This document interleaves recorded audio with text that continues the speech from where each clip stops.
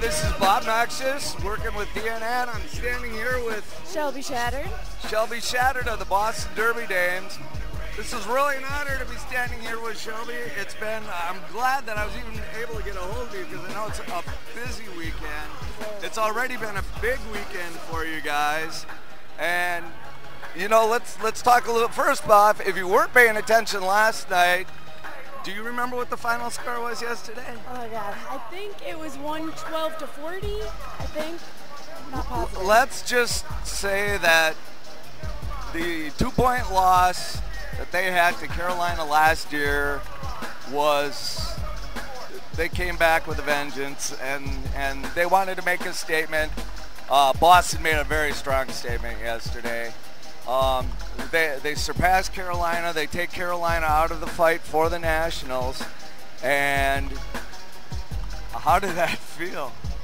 Well, it felt great for us. We've been working really, really hard this season. We've had a ton of games. It's been a very, very difficult season for us. We've had a lot of losses. You know, we've had a fair share of wins, but more losses than wins. So, you know, we've been trying to take all that experience and you know, bring it forward to what counts, which is here at Eastern Regional. So it felt great. It felt like all of our hard work really paid off. So. Well, and I think that's I think that's an excellent point because you come out of a very tough region. There's, I mean, there's no question about that. Um, as much as we can talk about great rivalries, tough teams, when we want to look at one region, I don't think anybody is tougher than the East. And and you've lost some key people. Yeah. You know, and, and I'm not talking about they were good players. They were people that you started skating. With. Right. Yeah. Sarah Doom, one of them. She's um, been a big, huge loss. I think our entire team has felt that this year. We miss her incredibly, and she was just such a force. She really brought us together. I was, you know, that's interesting you say that because I was telling somebody that. Um, for some reason, I always felt in my head, and I saw you guys compete at Bummerbout, which was the first tournament you played, but I always felt that Sarah was kind of the glue. She was.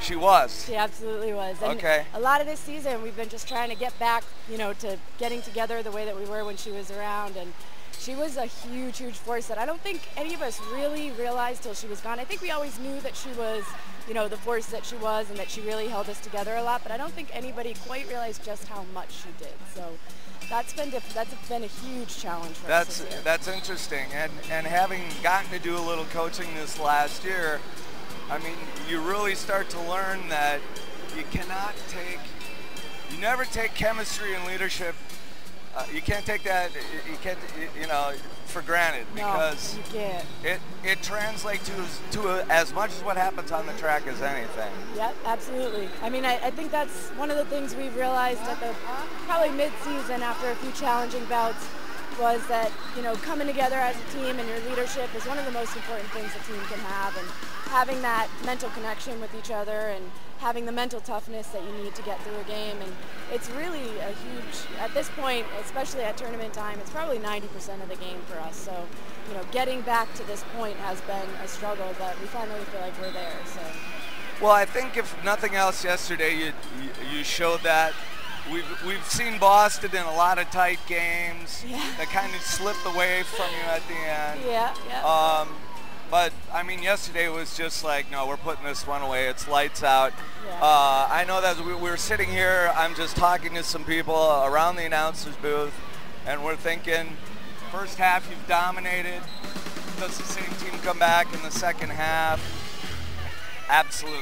Right. In fact, the the um, in, in taking a look at it, the score that you put up in the second half was more against them than you did yeah. in the first. Yeah. To me, that was really a critical statement. It was, and, and something again that we've been working on hard. You know, we're we've been pretty much an unpredictable team for the whole season. I think everybody knows that. We recognize it. It's something we've been working hard on, and I don't think anybody knows, are we going to come out, you know, strong in the first, and if we do, are we going to be able to keep that into the second? And that's always been a quick, big question mark for people out there as well as ourselves.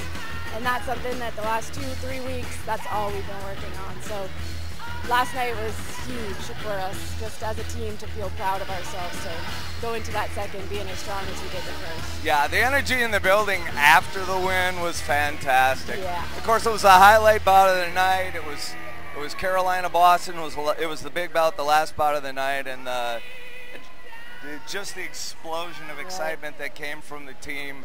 Yeah. Uh, you know, I mean, for me, it was really gratifying. I mean, I love Carolina, but I know I know what you guys have gone through, Right. and and you could tell it was kind of like, all right, we're you know we kept control of it. We got you know we've got one, two more games to play, and you know we're so alive for this yet. Right. You know, so Well, Carolina, I mean, that's a that's one of the mental things we had to get over. We've, you know, gone up against them at ECE this year, and then last year at regionals, they knocked us out of Yeah. contention for nationals and went on. And they're such a tough, tough team, and they're very good competitors. And with our history, we knew that we had to come into this just saying, okay, take it. Carolina is not Carolina. You know, you got to kind of look at them as a no-name, no-face team because in order for us to come in and try to do something here and, and move on and have some chance, have a chance at nationals, we had to take that history and put it away and not bring it here with us. And I think that's a good point because you can't, if you're going to play your game, you really cannot, you, you can't come out and wait to see what somebody's going to do. No. You impose your will upon them. You go into halftime, you have to come back with that same fire and say, I don't even want to know what the score is. Yeah. Let's just keep it together. exactly. Now, I've had, again, I've, I've had the opportunity to see Boston play since, since the first tournament. And Shelby, I've told you this too many times, but Shelby always did stand out as, as somebody that myself, my co-announcer, and some of us looked at and said, man, she's really going to be a good pivot. And you are an amazing pivot. Thank you very much. I appreciate it. And and your style is, I think the thing, and I was sitting with a, I was sitting one with one of the bench coaches uh, from one of the other teams last night, watching you play, and and he and I were both kind of sharing our our, uh, our whole philosophy about about Boston and about the way you play, uh, in particular, because many times when you pivot, you pivot alone, and that's not very common anymore. It's almost always a wingman. Um, but you seem to have this ability to, I don't know, you'd have to explain it. Uh, you know, you, you kind of measure the distance, you kind of measure it out and figure out where you need to be so that you have enough room to find the space to pull back or speed up. And, Derby, I kind of look at Derby as a game of chess. Yeah. Kind of have to, uh, you know, as the moment comes up, okay, where are all the pieces? You know, who, where are all the other players on the other team? Where are your players? Who's in a position to help our jammer as she's coming up? You know, where can I fill that hole? And you know, trying to fill a hole is kind of my whole philosophy of with roller derby and my style of play is okay, where's our hole and where do I need to fill it? And a lot of times that is the front of the pack. You know, there's been a big shift. I feel like more about halfway through last season where a lot of teams are focusing a lot on the back and the middle of the pack, which is leaving those holes up front a little bit. So No, and that is an excellent point because as we've learned pack control, it doesn't matter where it originates from. Um, it always used to be a race to the front with the 20-foot rule. It kind of got like it was too easy to leave people stranded Right. out there. But you're always very calculated in the distance that you've got to either make a move, stay out of that kind of trouble, and then to well, I th- you know, really what I think that works is your teammates get them to the speed you know you can match Yeah.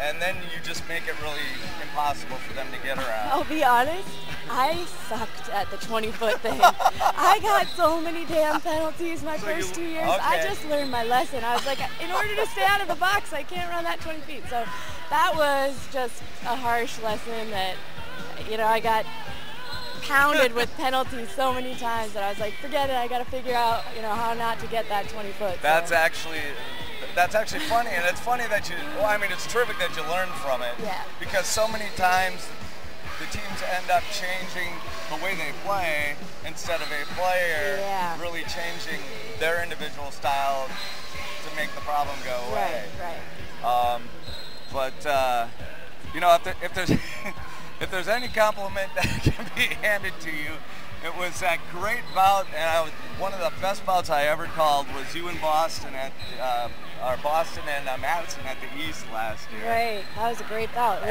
And uh, and it came down to the very end, and we had to wait for the score to go up. Yeah. And when it was all over with, I, I turned to one of our players and I you know, I congratulate her on a great game. This is a little later on where you can talk a little Yeah, more. yep, yep. And I said, I said, I tell you, said Shelby Shattered, she, she is tough to get around. And she looked at me and she goes, I'm not sure who that is, but if you're talking about that, I'll clean it up. but if you're, uh, you know, and this was this was meant with all heart and kindness. Right, right. But if you're talking about that girl up front that I just could never get around, yeah, she was driving me crazy. so, Madison was so tough. They were such a tough team. I mean, they came back at the end, 18 point jam to close up. I think it was Wildberry Punch that was jamming. yeah. I'll never Seven- forget it. 17 points to, to, to make us go to the scoreboard Oh to find out if they closed it They up. were incredible. But again, we're the masters of the one to two point games. So what do you Well, expect? that one was in your favor. It all looks the same on right, paper, right? right. one of the few. Yeah. Okay, well, Shelby, thanks so much for Thank joining you. us. It's been an absolute Thank pleasure. Um, now, Shelby, you'll be playing Gotham next. yes, we're playing Gotham Okay. next. Yep. Uh, the and for those of you at home, if you don't understand the new bracketing system, the winner or the winner of the Gotham Boston game will advance. Has sewn up a national, national spot essentially. Uh, the the team that does not win is going to go on to another game where they will play uh, the team that did not beat that doesn't win in the Philly Charm City game. Yep. And then this year, because of the, the there's more regions, we're not sending four, we're sending three. Right. So the fight is half over, uh, but uh, for Boston, they they have to pull two wins, or for Charm City, they have to pull. You have to pull one of two wins, or Charm City has to pull one of two wins in order to advance. Right. But best luck to you, and Thank best you luck so to much. your team, and Thanks. and uh, you know, and all hats off to Boston. Who probably doesn't get mentioned in the East as much as they should. Oh, Bob Noxious signing off for DNN. Thanks a lot. Thanks, Shelby. Thank you.